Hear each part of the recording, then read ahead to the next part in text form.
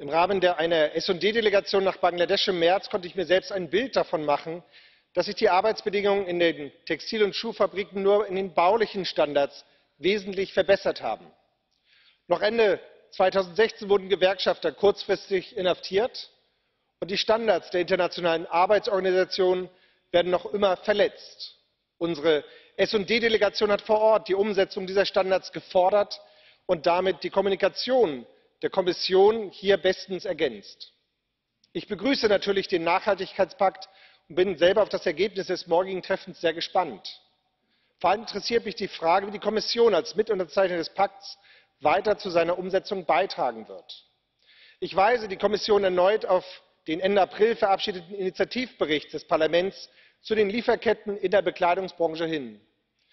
In diesem Bericht fordert das Europäische Parlament von der Kommission einen Gesetzesvorschlag, der endlich die verbindliche Einhaltung der Sorgfaltspflichten entlang der Lieferkette festlegt. Diese Gesetzesinitiative könnte zusätzlich zum Nachhaltigkeitspakt zu besseren Arbeitsbedingungen in den produzierenden Ländern inklusive Bangladesch beitragen.